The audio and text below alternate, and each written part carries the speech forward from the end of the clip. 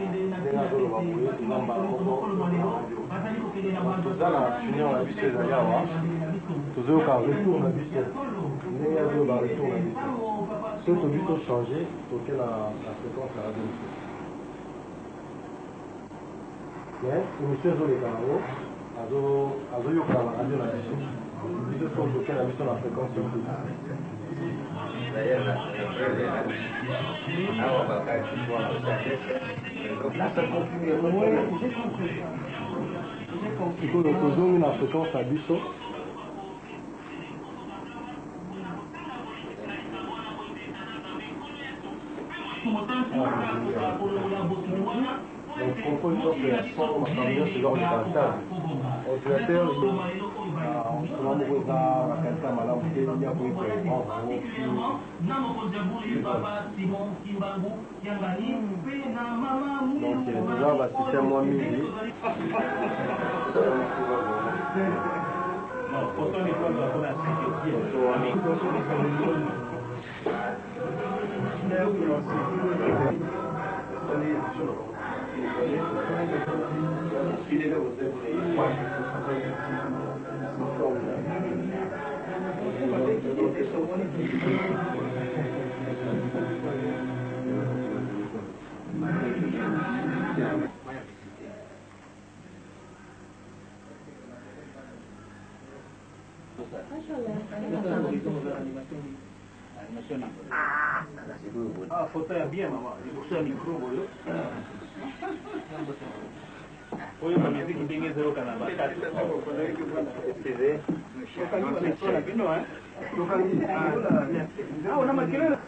Awa pe katikati ya studio na biso ya Ratelki tozali na mama na biso, mama moko oyo vraiment kombo ekenda lokumu.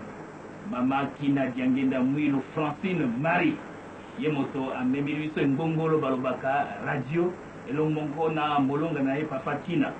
Mama tosepeli mingi ndenge okomi awa na kati ya studio. Mama impression nini ozalaki na yango na ndenge fete oyo elekaki?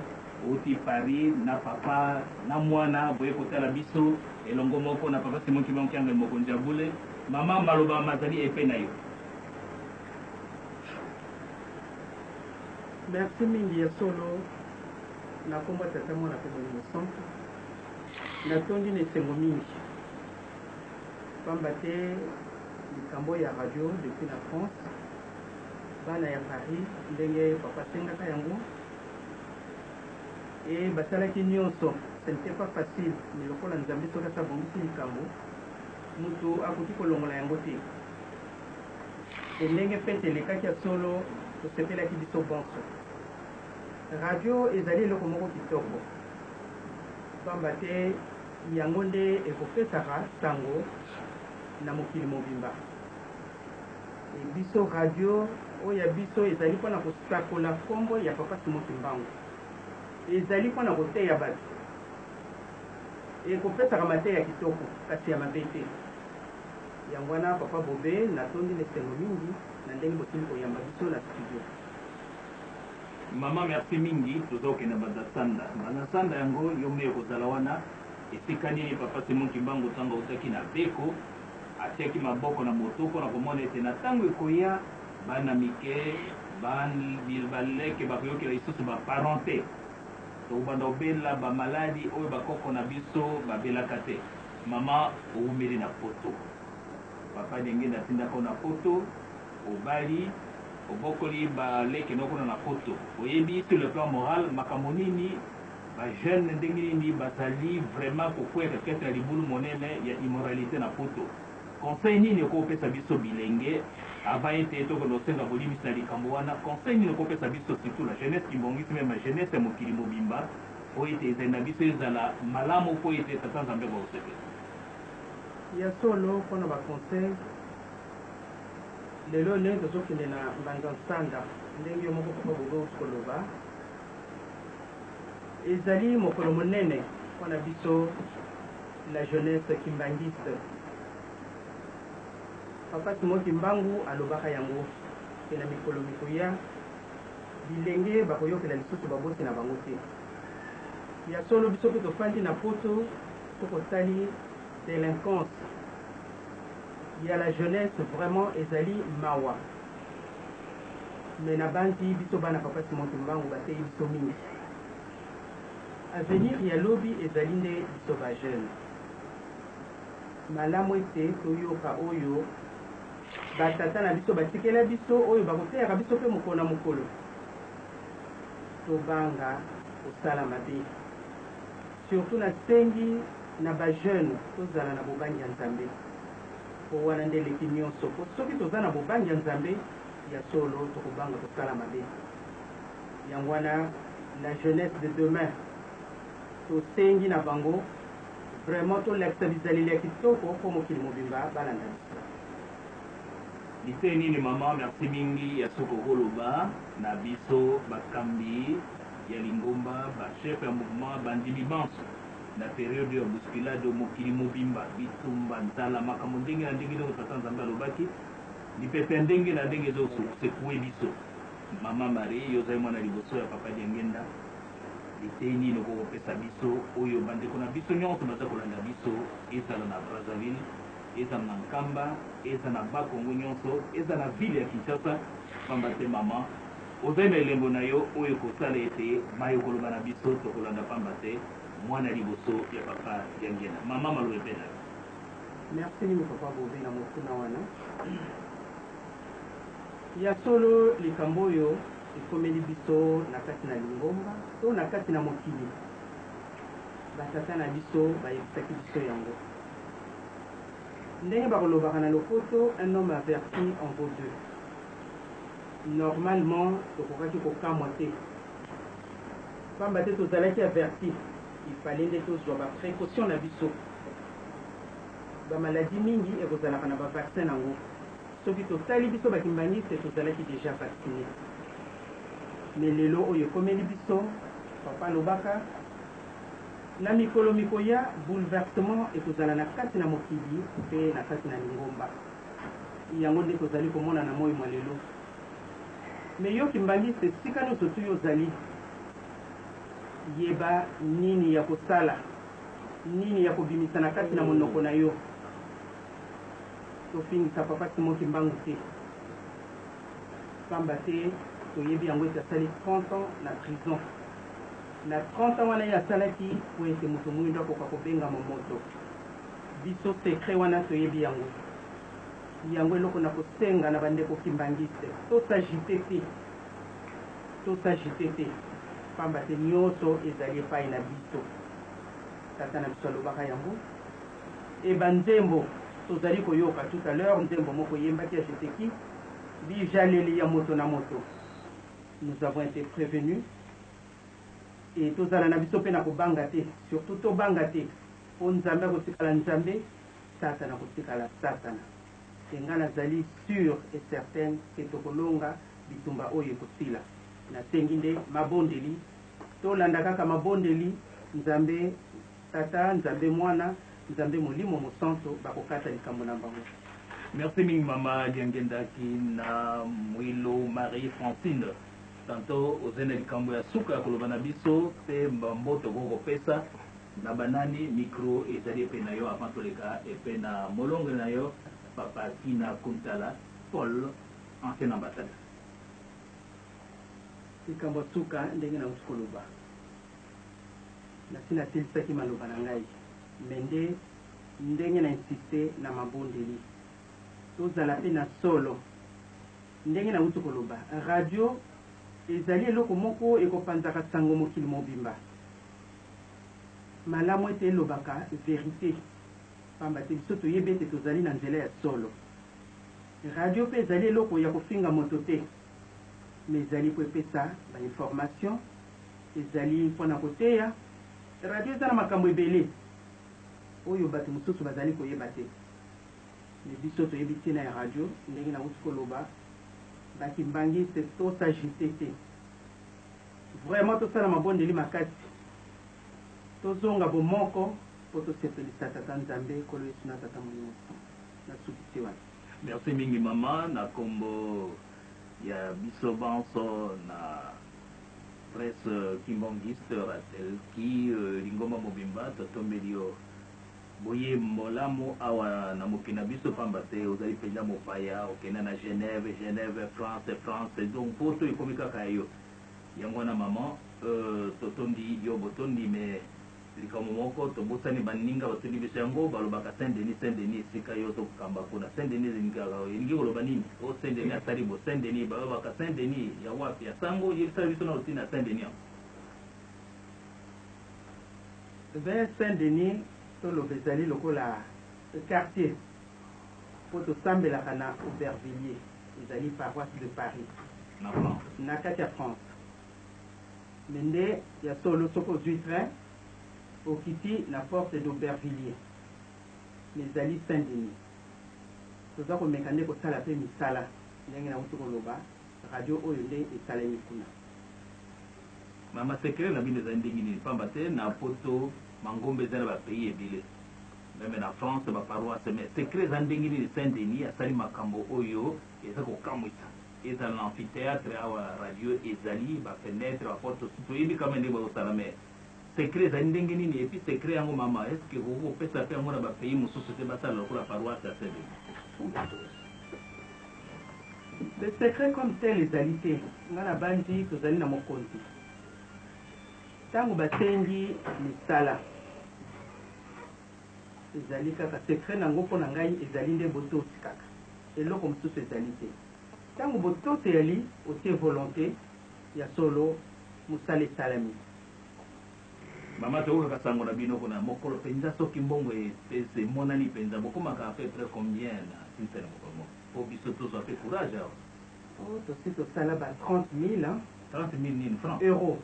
Euro Eh. en dollars ezali bino pamba bisu miso toyebaka euro te awa. Nga pe ya solo ouais, 30 mille dollars Na mokolo moko. peut etre un peu plus mais en tout cas oui tosalaka ngo na dimanche moko. Maman felicitations sikoyo topesi maloba epe na papa kina ancien ambassadeur soki bato bayebi tata kina te tata ne ezalaki kina paul akendaki kinkole bato bazalaki ba dormier religue bakangaki bango bakelaki na bilingo pasi bamonaki lelo mwana na ye pe alobi esika makolo ya tata ezali oyo ya ngai pe na kolanda Ndenge pe molonge naye alobi ah papa diangienda tata na ngai nge pe nakolanda ah balaki maman na biso awa donc tokoki obebe bokilo na biso semeki na biso comme vous voulez ye pe azali pe musicien fanfla na fanfare kimbangiste ba voyage mingi papa asalaki na poto aza kovanda pe naye na Geneve biso banso tozali ba temoin lelo aye elongo moko na maman Papa Kina soki bobosani ye pe asalaki que cercle des etudiants kimbangiste parmi ba organisateurs wana tokendaki kuna pona kopesa première communion na organisation ezalaki ye po tokendaki TCBs mobimba ba kimbanguistes tokitaki na Bruxelles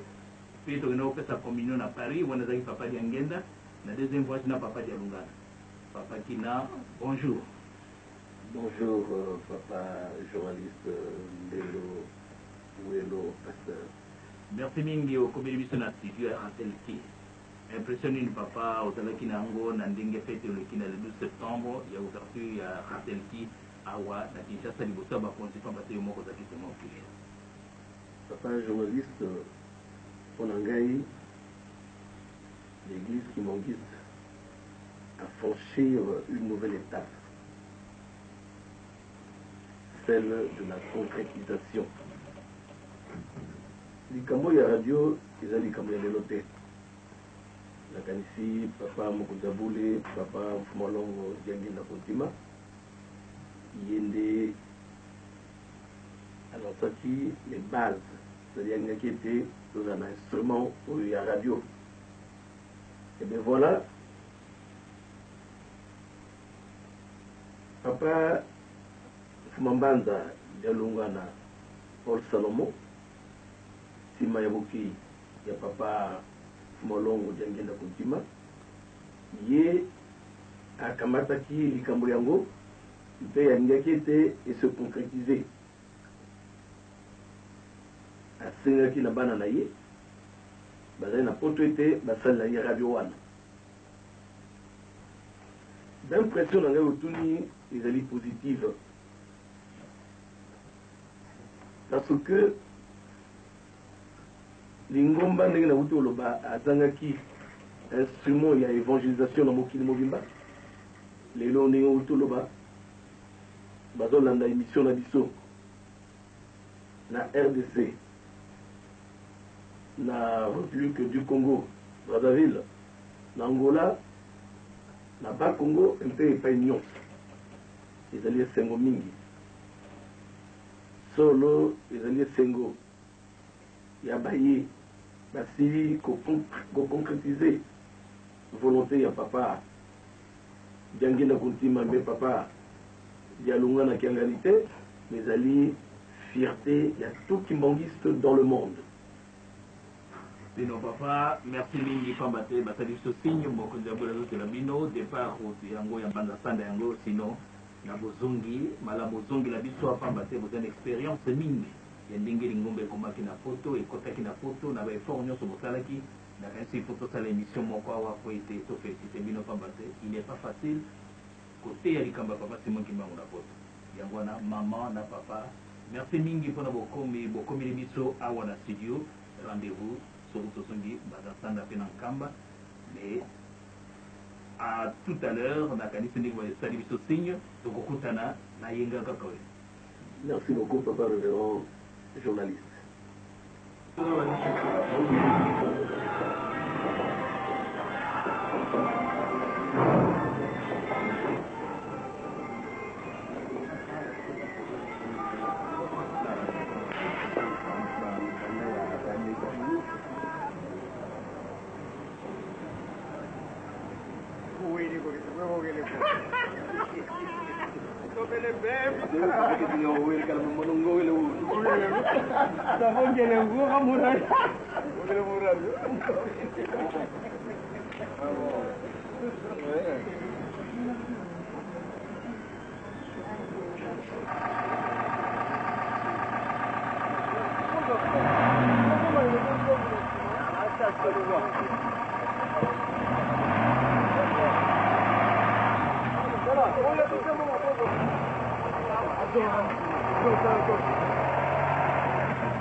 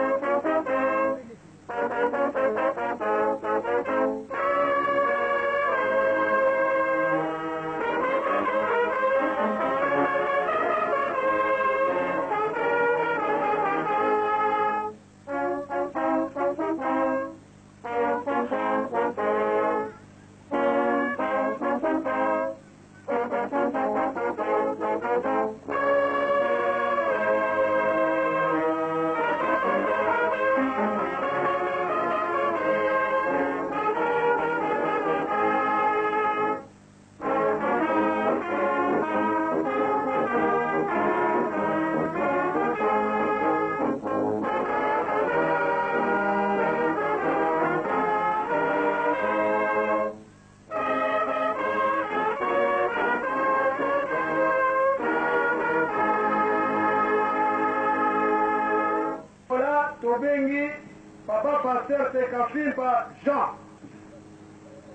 e na kongo kinshasa tobengi ye moko mama mwilu kiawanga marie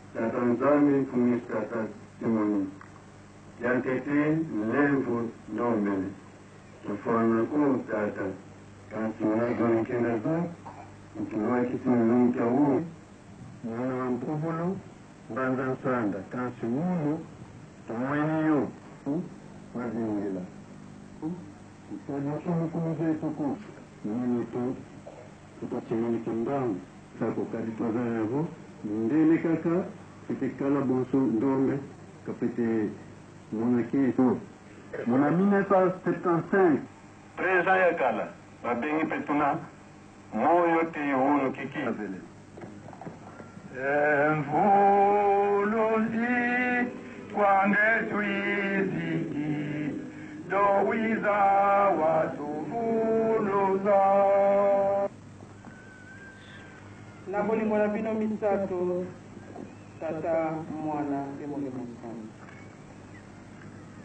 Papa ya liboso tosengi yo bolimbisi na mokolo oyo mwa lelo, mokolo monene na biso bana na yo. Mokili mobimba oyo bayebi nkombo na yo basili kosangana kobanda na ntongo. Biso lelo ekomeli biso na mbanza nsanda. Papa, nini tokoloba? Totondi na esengo. Ndenge owuti koyoka mabondeli eleki na esika oyo, kobanda na Congo-Brazzaville, Congo-Angola, Papa, ngai mwana na bino nafukami na esika oyo, mbala na ngai ya yambo kokoma na Mbanza Nsanda, mboka oyo toyoki yango ti na mikili mya poto, na Etats-Unis. Sango ekeyi ya yo papa Simon kimbangu oyo okangaka na mboka oyo biso banso toyebi yango le 10 septembre 1921 boyaka na mbanza nsanda bosali 3 mois bokoti mabondeli okangi makambo nyonso na kati misika oyo lelo Ezali hasard te kokoma na biso na mboka oyo. Ya solo papa tika ete okumisama na yo pamba te ozali Nzambe. Oyoki kolela ya mama na papa, kolela na biso ya mokolo na mokolo yo oyebi yango. tala pasi papa tolakisi yo pasi te kasi yo olobi bosenga bobeta porte boluka biso mpe toye koluka na kati na esika oyo papa bongisela biso nguma avandeli maji na bakongo nyonso misato ye amibandisi na ye kasi papa yo oza na makoki manso Oza na makoki manso po olongola ye po maki na yo epasuka te. Olobi na biso mikolo ekoya bouleversement ekozala na kati na mokili pe na kati na lingomba. Ya solo papa tomoni yango. Kasi toza na kobanga te. Tosengi opesa biso makasi. Papa Simon Kimbangu oniokwamaki. Wana ezalaki mindele batondi na maigele ya ndenge na ndenge eleki biso. Kasi soki yo omitikaki na boloko, oyebaki ntina. Basali makambo nyonso mpo ete bakoka koboma yo, kasi moto akokaki koboma yo te. Wana nde mayele ya mindele. Lelo mosala na yo, papa, omoni ndenge yango ekomi? Kasi toza na elikya yo nzambe okolonga papa simon kimbangu olongaki maman mwilo olongaki ba papa bino misato bolongaki bongo biso tolonga te mpona nini yango wana nzambe na biso tike tobongisela biso toye na mboka oyo esala nzela toyeli pasi ndenge moko papa mfumalongo olobaki ete Owuti kolota ndoto balakisi yo ke nzela ya Nzambe ezali pasi. Ya solo papa ezali pasi nzela oyo soki oza moponami te ya solo oko kozongela na nzela mais biso bana na yo ndenge yo olobaki ete tosalaki na yo na likolo biso ka pe toyaki na mokili omemi biso okolisi biso na esika oyo sika nionso tokosenga na esika oyo nionso tokosala papa Simon Kimbangu Toza n'elikya ete bokoma na biso awa. Yo kofungolela biso ba nzela nioso Satana akanisi ete ye alongi, mais akoki kolonga yo Nzambe te. Pamba te Satana asalaki mutu te mais yo mutu osalaki biso. Biso pe toza basali na yo. Papa yokisa monguna soni. Pamba te akanisi ete aza zui mokili, mais azui mokili te papa. Pesa biso kaka makasi. mpo tokoka kolonga etumba monene oyo tozala yango. Kanisela bapasi na biso na bamboka nyonso misato, ndenge na ye outi koloba, mpe mokili mobimba. Yo moko tambolisa biso tozala mokonzi na biso ya lingomba.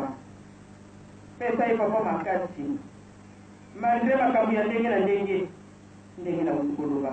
Papa, tomoni bango bolongaki, bapapa balingi bolongi, ebongo mpo na nini mwana na bino alonga te?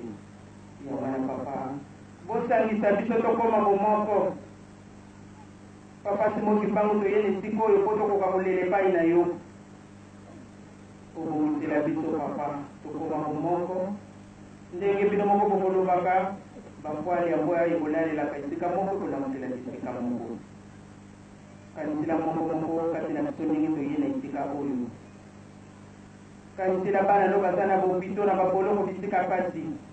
Mingi pe bazalaki na posa bakoma na esiko me bamikoki te. Tika ete obongisela bango. Elikya na biso, Papa, Yo okotambusa biso ndenge bolingo na Yo, Nzambe, ezali. Tosengi otia kimia na nzoto pe na milimo na biso, na bolingo na Bino Misato, Tata, Mwana pe Molimo Santu, tokosengelaka manso. Amen. Amen. Tosengi ba tata, pasteurs, ba maman.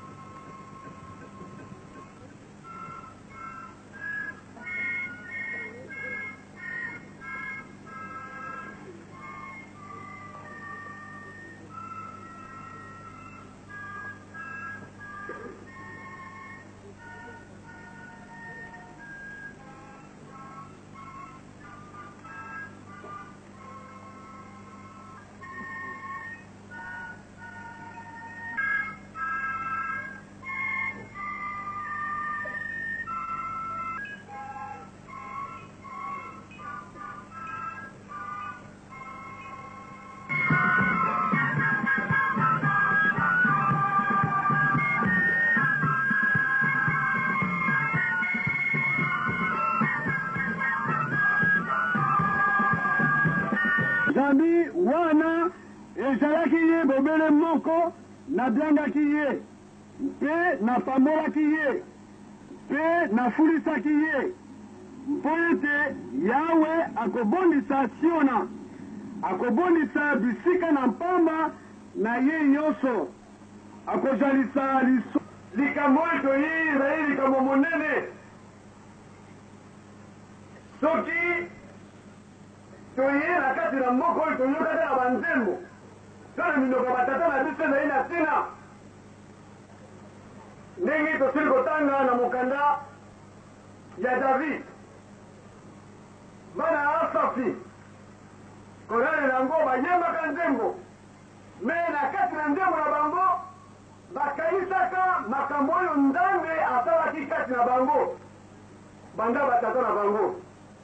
Toyebi ete pasi ya bana ya Israele ezali elaka ya Tata Nzambe oyo apesaki na koko na bango Abraham. Apesaki bango, alakaki tata na bango ete bakokende na mokili ya bapaya, bakosala mibu 400 ans. Likambo wana ezalaki elaka esalamaka na bana ya Israel wana Abraham azalaki lisusu te. Eyaki kokokisama ntango babimaki na kati na Egypte na 430 ans Ezalaki kaka elaka oyo Nzambe apesaki na Abraham. Kasi oyo balandaki bamonaki pasi na kati ya Egypte, na kozwa kaka ndambo ndambo. 430 ans ya bana Israël.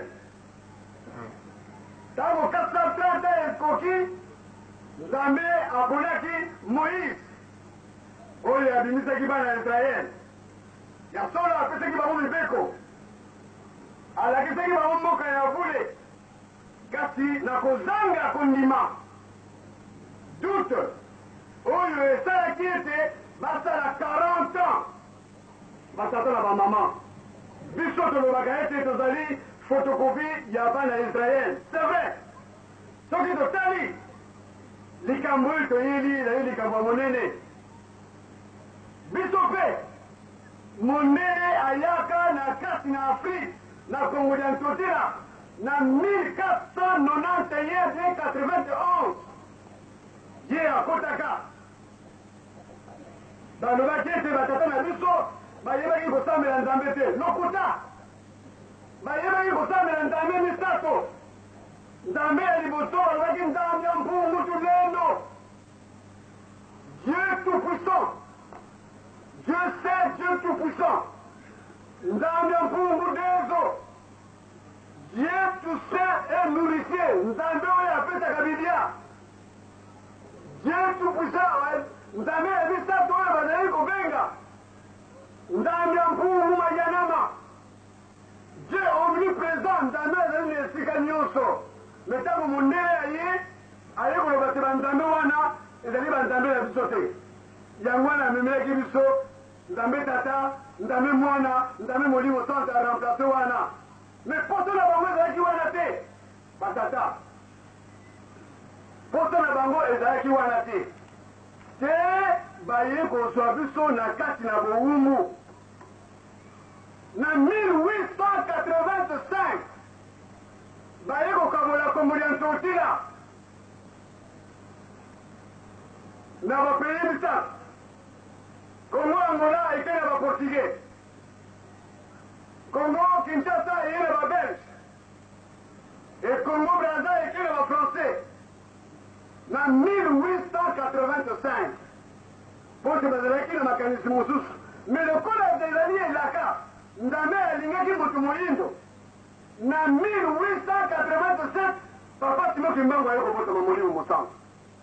Tala likambo Nzambe asalaka.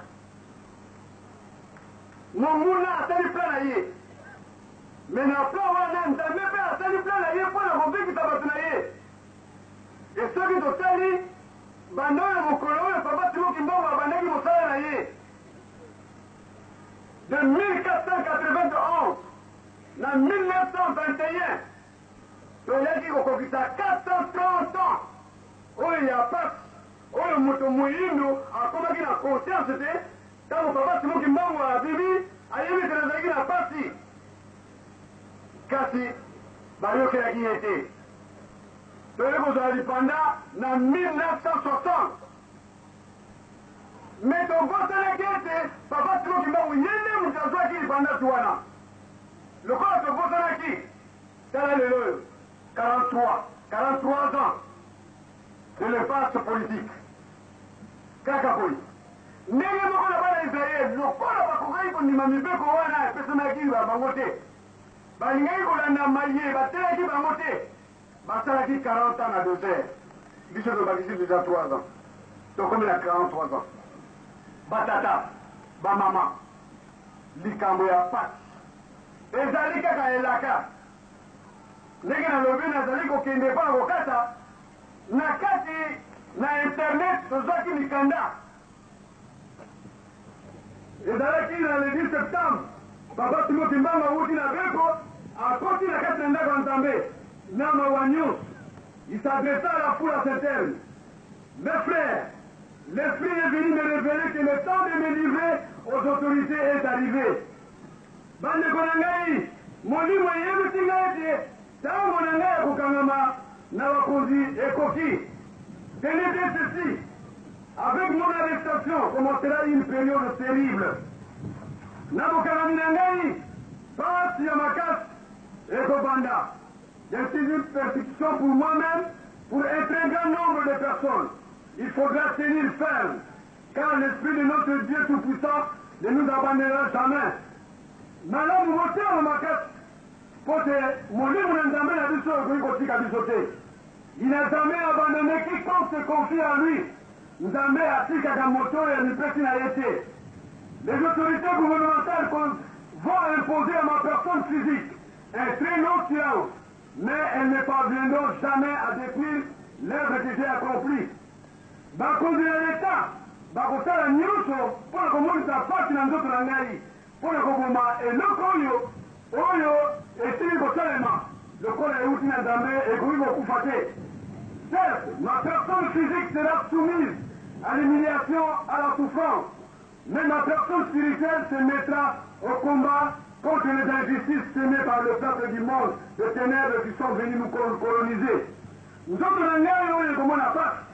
Mpe nzoto na ngai ya molimo ekotambola, ekobulisa bango baoyo bayei komonisa biso pasi, car j'ai ete envoye pour liberer le peuple du Congo et la race noire mondiale, parce que batindaki ngai mpo na kolongola peuple ya Congo na kati na pasi et mutu moyindo na kati na mokili mobimba.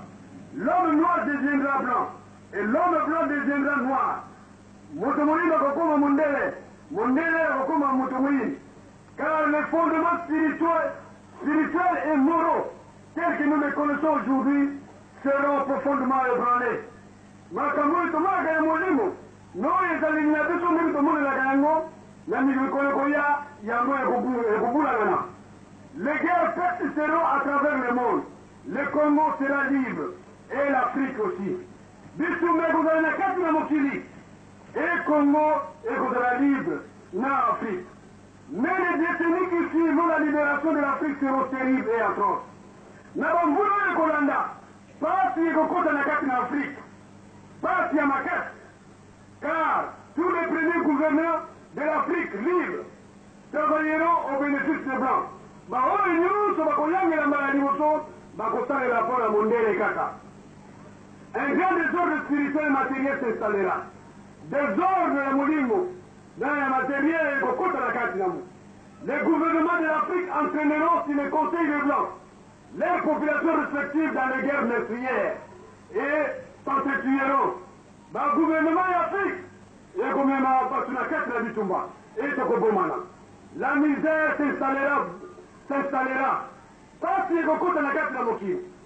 Beaucoup de jeunes quitteront l'Afrique dans l'espoir d'aller chercher le bien-etre dans les pays des blancs. Ba jeunes mingi bakolongwa na kati na Afrique, bakokende na mboka bapaya mpo na koluka likambo oyo bazali koluka kuna. Ils parleront toutes les langues des blancs, bakoloba minoko nyonso ya ba mindele, parmi eux Beaucoup seront suivis par la vie materielle de Bwa. Na kati na bango, mingi bakobunga na tina na vie oyo bamoni na na mindele kuna. Ainsi, ils deviendront la proie des Blancs, bakokoma misuni ya ba mindele. Il n'y aura beaucoup de mortalites parmi eux, ba ba kati na bango mingi bakokufa et certains ne reverront plus leurs parents, et batu mosusu bakomona mpe ba tata na bango lisusu te. Il faudra une longue periode pour que l'homme noir acquiert sa maturite spirituelle. Il faut tango molayi mpo te moto moyindo azwa bomoto ya molimo. Celle-ci lui permettra d'acquerir son independance materielle. Kaka bomoto wana nde akozwa independance oyo tobengi independance materielle. Alors s'accomplira la, la, la troisième étape. Dans celle-ci naîtra un grand droit divin. Tokobanda troisième étape Yango nde Mokonzi monene akobotama, Mokonzi na Nzambe. Il viendra avec ses trois pouvoirs. Akoya na ba pouvoirs misato, pouvoir spirituel, pouvoir scientifique, pouvoir politique. Mokonzi wana akobotama, akozala na ba pouvoirs ya molimo, ya kozala na ba pouvoirs mpo na ba inventions, akozala na ba pouvoirs politiques. Je serai moi-meme le représentant de ce roi. Ngai moko nakozala representant ya mokonzi wana. Je n'igniorais d'humiliation que depuis le temps le plus recule, l'on a cesse d'infliger aux noirs. Nakolongola pinzoli nionso banda oyo bamonisaki moto moyindo pasi, car de toutes les races, aucune n'a ete maltraitee, humilie que la race noire.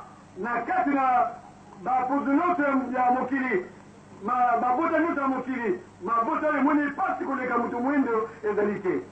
Continuez à lire la bible à travers ses ecrits vous arriverez à discerner les actes de ceux qui sont venus nous a vous apporter ces livres et les ecrits ou principes moraux contenus dans ces livres. Ye alobi alobaki bokaka bo continuer kaka na kotanga bibla. Na kati na Bible, bokomona makambo oyo bato oyo ya makambo ya mabe, bato oyo bamemelaki biso mokanda oyo. Il faut qu'un voleur soit saisi avec l'objet qu'il a vole. Il faut que moyibi bakanga ye na eloko oyo ye ayibi. Nous aurons notre propre livre sacre. Tokozwa mokanda na biso moko ya Nzambe dans lequel sont ecrites des choses cachees pour la, la race noire et le peuple Congo. Na kati na mokanda wana, mabombami oyo ekomamaki mpo na moto moindo na moto moto ya Kongo ya Utokila, Un instructeur viendra avant notre retour, mpo na bozongi na bango, moteyi akozonga pour ecrire ce livre et preparer l'arrivee du roi. Il sera combati par la generation de son temps, moteyi akoya akoteya mpe akokoma mokanda wana. Mais bako bakobundisa ye na batu na tango na ye mais petit à petit beaucoup de gens comprendront et suivront son enseignement et moke moke batu nionso bakolanda ye car sans cet enseignement qui preparera le peuple Kongo? Soki mateyi na ye te nani akoki kobongisa batu ya Kongo? Car l'arrivee du roi sera très meurtrière et sans pardon. Boyeyi ya mokonzi wana Ekozala na boyeyi moko sans pardon et liwa ekozala alors il faut que le peuple Kongo soit instruit avant cet evenement il faut que peuple Kongo bateya ye avant makambo wana ekoma vous ne savez pas encore ce que c'est qu'une guerre spirituelle boyebi te bituma ya molimo quand le peuple le peuple Kongo commencerait à se liberer Tout pays qui osera attaquer le Congo sera engourdi sous les eaux. Tango peuple ya Congo bavanda kolibere ye, mokili nionso oyo ekoka ko attaquer ye akokota na kati na mayi. Vous ne connaissez pas encore la puissance de ceux qui sont envoyes par le Père tout puissant. Nanu toyebi makasi ya moto oyo batindi na kati ya mokili te. A quoi sert l'homme de s'attaquer à Dieu? Le jour de sa mort meme s'il savait beaucoup de biens materiels, il n'a meme pas le temps d'arranger ce doigt. Eloko nini ezali na moto mpo na kosatake na, na Tata Nzambe? Mokolo na ye meme, biloko na ye meme akoki koarranger yango te. Vous ne savez pas de quoi est faite votre vie, pourquoi vous vivez. Boyebi te ntina nini, eloko nini esalama bomoi na yo. Car exister physiquement c'est apparaitre comme presque rien, ata yo ozali, eloko moko oyo ezali te. Pourquoi tuer son prochain? Esperer rester en vie pourquoi? Combien de temps? Mpo na nini koboma moninga na yo mpo otikala na mokili? Okotikala mbala boni? Dieu n'est pas n'est pas le temps ni l'espace il est un tout dans le tout Nzambe azali tango te azali pe esika te et azali esika nionso La generation Congo perdra tout Generation ya Congo ekobungisa makambo mingi. Il sera embrouille par des enseignements de principes moraux pervers de monde europeen. Generation ekobungisa makambo mingi na mateyi ya mabe oyo akoyoka à travers ba mindele. Elle ne connaitra plus les principes maritaux de ses ancêtres. Akobosana makambo ba koko na ye bateyaka ye. Il ignorera sa langue maternelle.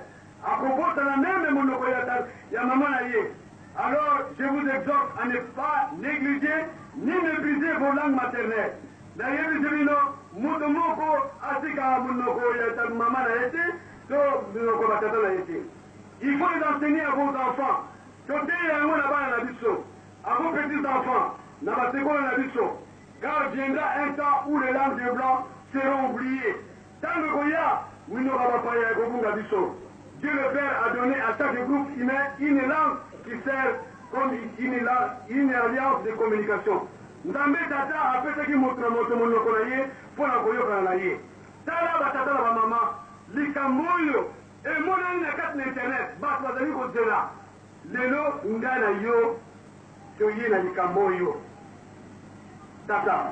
Bana ya Isayele bateyaki yango na bana na bango, na basekolo na bango. Yo olobi nini? Ezayi alobi na biso, alobaki na bana ya Isayele, Abraham azali tata na bino, ye moto abotaki bino. Sara azali mama na bino, ye moto abotaki bino. Boyokela ye. Ye nde mutu akomema lobiko na bino tata lelo yo ye moko azongeli biso ye moko alobaki yango tala pasi makambo mingi te emonani bakomi yango na kati na ba internet batu bazali koluka il faut toyeba makambo ya papa Simon Kimbangu alobaki tosenga pardon lelo yo nga na yo tomemani awa mpo na nini mpo na likambo wana ekangamaka 21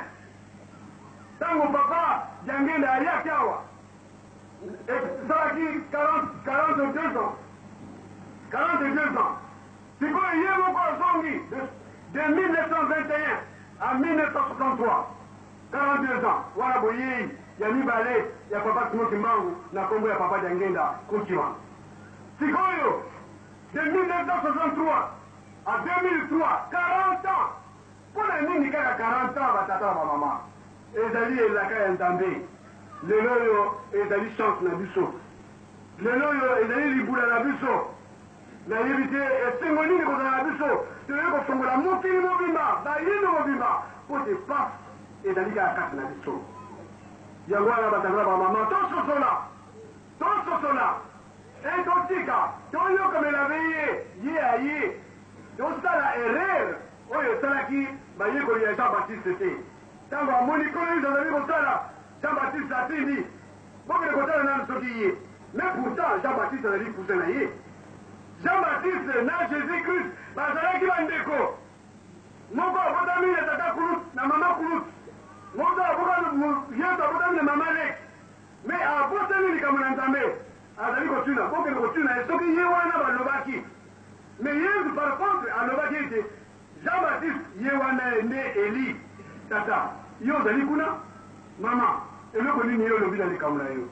Toteya bana na biso makambo ya Papa Simon Kimbangu mpo ete pasi oyo emonanaki na kati na bango, makambo oyo ye asalaki,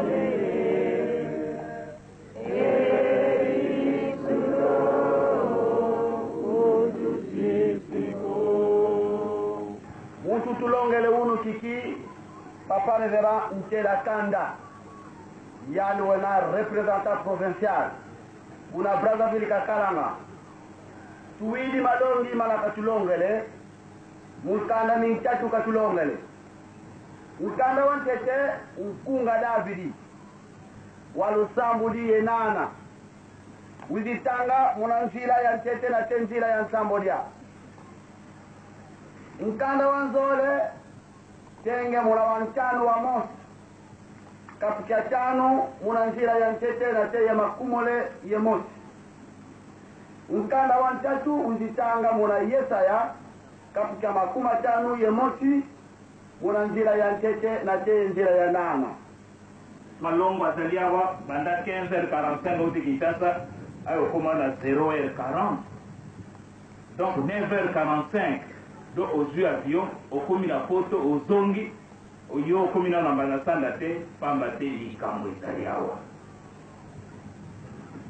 inkisi kaka ti awa ezali 40 40 km tosali yango 7 heures du temps mpo na bazelu Mpo na nini likambo monene ezali awa?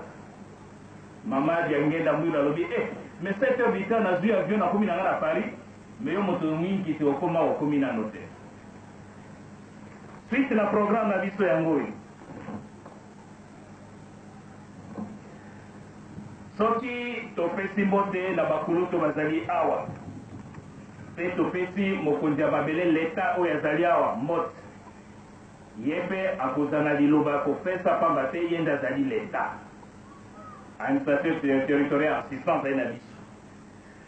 Sima na yango, somo mbote epesami mpo na kombo ya trois collectivites.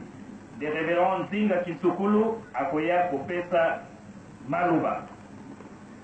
Sima na yango, Na tina ya ba jeunes, po na likambo monene oyo toyei, toyebi oyo Mokonzi ya bule abengeli biso awa, Papa Dina Emmanuel akoya kosala discours to akopesa maloba na Mokonzi ya bule po na tina ya mokolo mwa lelo. Na mbisa nde Doyen d'age azali awa, Ngudianganga Papa Wanzu Ngasa Marcel akozanga liloba te po na kobeta sete na tina ya maye tokoyoka na esika eye. Sima ya bopesi mokonzi ya bule mbote pe honneur, soko asilisi koloba ndenge balobaki na biso na secretaire ya ville sainte, bakomema biso bisika oyo tokokenda. Tango bazali koloba, yo yoka. Soki ozali na mosala no ya koyoka, yoka. Soki ozali mopanzi sango ayebi mibeko ya ndenge nini bapanzaka sango, Mafuta na petrole batiaka yango esika moko te to na mayi ndenge bapesi biso oyebi likambo te vanda nayo ata oyebi tika baye bapesamemi mokumba ya kopanza sango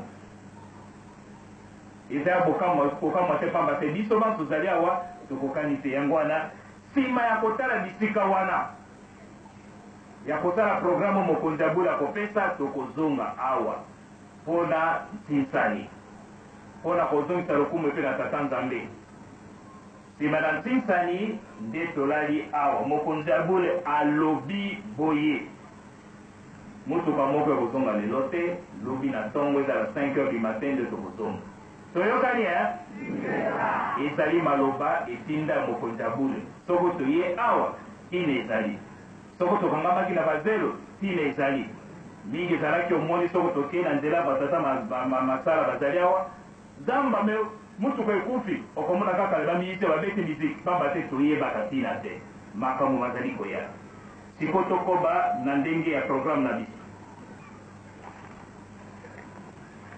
Tozali awa na bakonzi ebele na biso banso toye awa.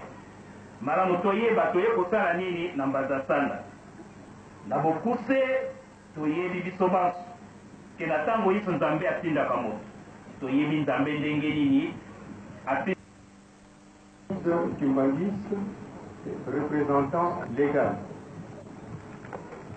Chers frères et soeurs fidèles de l'Eglise kimbanguiste, Mesdames, Mesdemoiselles et Messieurs, distingues invites, votre arrivée. Ce dimanche 14 septembre 2003, qui coïncide avec votre visite pastorale et ecclésiastique à Mazansanda, est un grand honneur pour le ressort du poste l'État d'encadrement administratif des dons. Ainsi, nous saisissons cette opportunité pour présenter à vous-même et à toute la délégation qui vous accompagne nos sincères et vifs remerciements.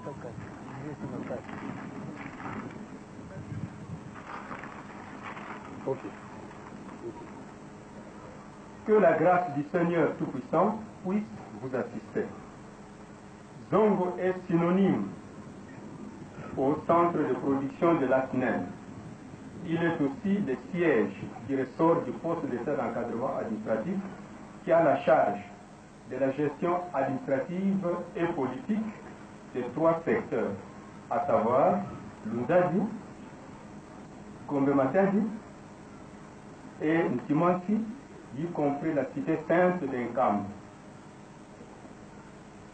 Son éminence, chef spirituel de l'Église kimbangiste et représentant légal, chers frères et sœurs, fidèles de l'Église kimbangiste. Mesdames, Mesdemoiselles et Messieurs, distingués invités, Sand, qui se situe dans le groupement de Kindunga, secteur de Lundadi, territoire de Mbanzangungu dans le district de Katarak, à quelques 14 km du centre de production de la d'Ongo, Zongo, siège du poste d'état d'encadrement administratif, demeure un grand village. Une grande mission humaniste, le lieu de la révélation de l'arrestation par nos colonisateurs belges, le frère Simon Kimbangu, le prophète et le fondateur de l'église Kimbangi. Tout comme la ville sainte d'Enkamba, Mbazansanda reste un site historique, touristique et éclatistique, non seulement pour les Kimbangistes, mais pour tous ceux qui s'intéressent au savoir. Nous garderons encore longtemps en mémoire que fait Simon Kimbangu, le prophète et fondateur de l'Église, dont il est question ce jour, était lors de son existence très attaché à ses deux sites, à savoir la cité sainte d'Enkamba et Mazansanda, sans pour ses méditations que pour les autres activités pastorales. La contrée que vous visitez ce jour est enclavée. Elle connaît des problèmes de route et de pont. La communication pose d'énormes difficultés. Elle n'a pas de marché au sens propre du terme et le billet de banque n'y circule pas. Notre richesse principale est centrée sur le chicoin, les brinze et l'huile de palme. Il suppose donc des problèmes de développement. C'est ainsi que nous avons entrepris la tournée de sensibilisation à travers le village, groupement des secteurs de notre ressort pour ramener la population aux travaux champêtres source de toute richesse et de tout développement. Nous conscientisons la population à cultiver les maniocs, les arachides, les haricots, le maïs, oignons, patates douces, sésame, bananes et autres petits pois. Nous avons sollicité l'implantation du système communicationnel avec les entreprises Vodacom et Teltel. Nous instruisons la population au salon et faisons des aux opérateurs économiques et autres afin d'installer des maisons de vente et de produits divers comme pharmaceutiques, les chambres froides et des alimentations. Nous comptons sur la présence d'un courant continu et sans délestage de la finale Mesdames, Mesdemoiselles et Messieurs, distingués invités, l'Église cubanguiste est nôtre. Son fondateur est un digne fils de ce pays, la République démocratique du Congo. Il est congolais de naissance et d'origine.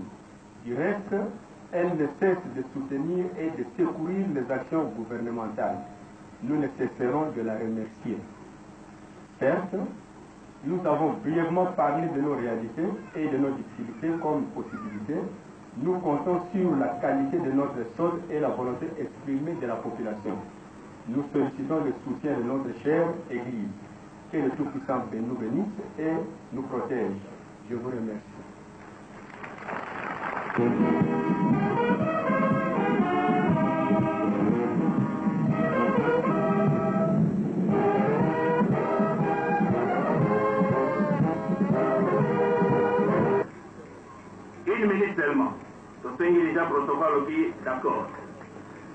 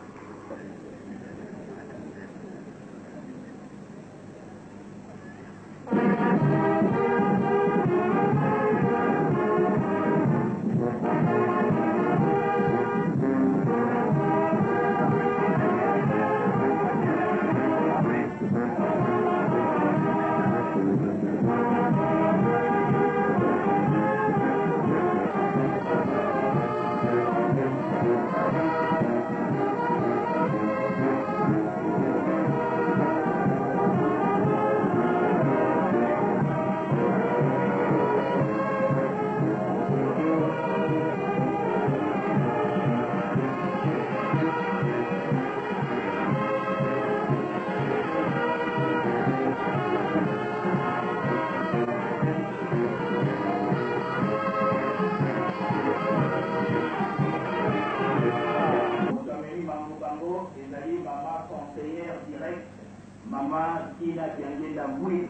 Bango bazali ba nani? Bazali bandeko na biso bake kotanga na poto. Toyokaki makambo balobaki awa. Bango bake kotanga na poto babosani bokoko na bango te. Na mwa ndambo ya mbongo bazwaka mpe na nsima ya basala yango wana basombeli lingomba. Ntango Papa Mwambanza alobaki, Bakokisi likambo yango awa, Papa Simon Kimbangu Kiangani akomi mokonzi ya bule, bango nde basombi radio oyo bozali komona awa na oyo ezali na Kinshasa. Kimbanisme oyee! Yango wana, tala bandeko na biso makambo oyo balobi, balobi, Biso tokei koyekola. Mpo na kozwa mpe mayele mpo na kokanisa, kotonga mpe lingomba na biso. Oyo nde ezali malamu to malamu te? Malamu te! Yango tokomona wana, katikati na mboto ya Papa Tata Nzaki. Lakisa ata loboko, Tata Nzaki. Tata wana azali professeur, ateyaka bana mindele kuna na poto. Mais azali okoyeba te, fanda na mabele avandi, opesi ye loboko te, avandi, mais un grand professeur.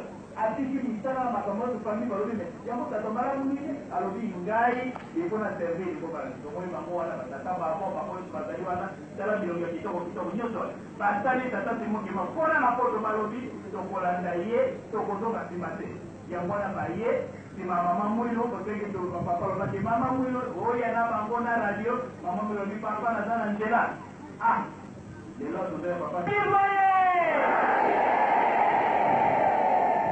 Poto arrive na protocole te en tout cas esengo oyo ezali kaka ntango ntango tokoma na nkamba mpo lelo eza presse en tout cas tika topesa bango mbote tokanisela bango na mokumba oyo bazali na yango mpo na kokotisa lingomba ya papa Simon Kimbangu na poto. Esika mibali na mibali bakomi kosala mariage officiel sango a benir epe aller okomona moto azokenda ti kona ake osomba biloko elamba na nzoto te donc mokili eza lisusu te mais bango kona balobi kombo ya papa Simon kimbangu toko defendre yango epuis toko tonga lingomba boni mapamboli to mapamboli te yango wana tikali topesa bango mbote.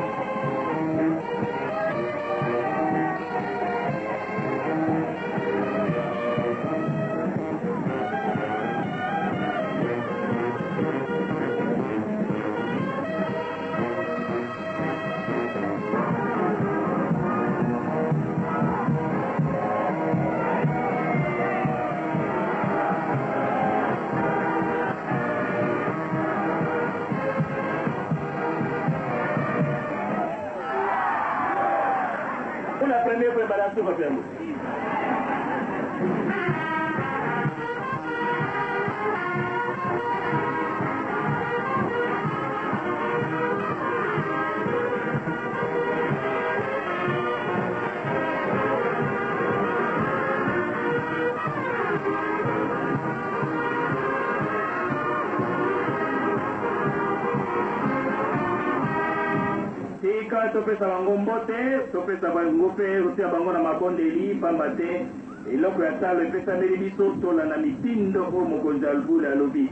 Donc bazali na besoin ya bwanya, bazali besoin ya support, bazali besoin ya conseil mpo likambo ekenda liboso. Tika topesa bango mbote, na kombo ya Tata, Mwana mpe Molimo Santu. Na kombo ya Tata, na ya Mwana, na ya Molimo Santu.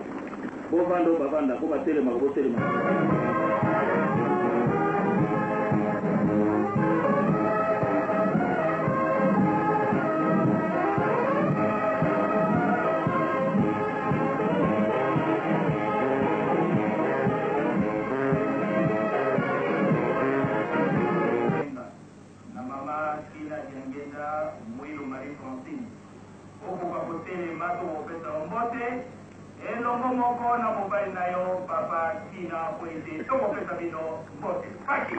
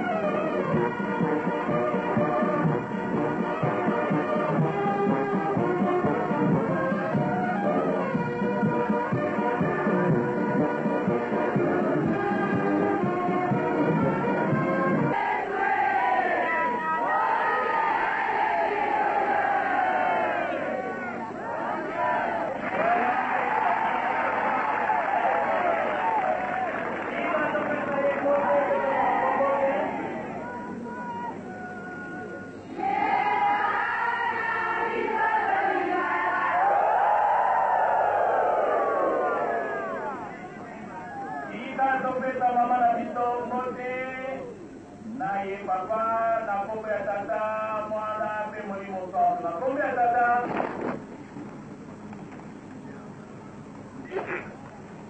Mwana ete matolanga ya sa mumvumwa se ye mwana ye mpe bya ndongo kadibi nkongo wa tunga collectivité E Discours tobongisaki na Kinshasa mpo na Trois collectivites, mbele ngai nalingaki natanga yango,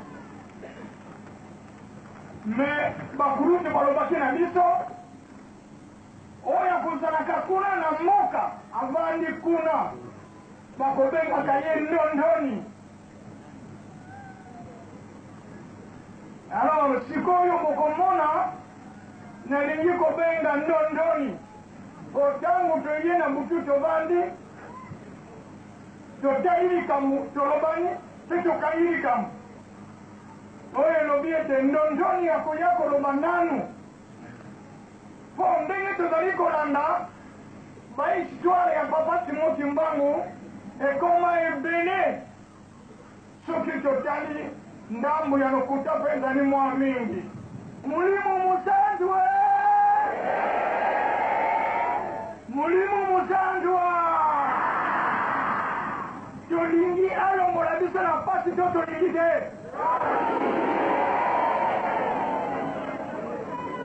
Na yango, soki tokotanga disikulu oyo mpo ayeba ete makambo yango toyebi yango, me moto akolongola yango nye. Mpasi tokomonaka ye azwaka matei malobami awa, disikulu oyo etangami awa ezali ya mokili mobimba. Soki otali yango mpamba, okufi na mpasi na yo.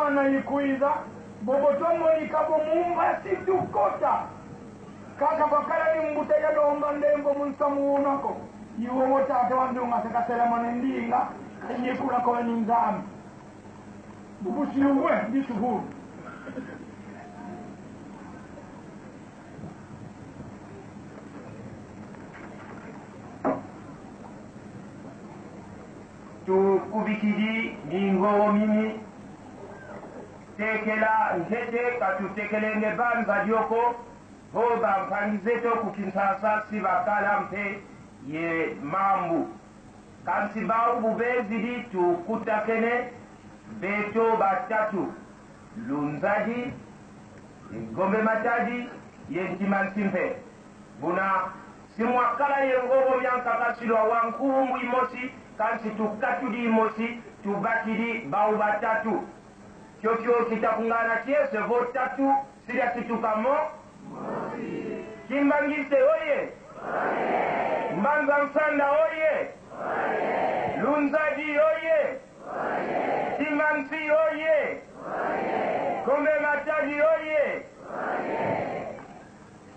Mbanza Nsanda le 15 9 2003 Monsola et et moi et mwanda velela mot de bienvenue à l'intention de son éminence le chef spirituel et représentant légal de l'église kimbaniste à Mansansanda, c'est 15-9-2003.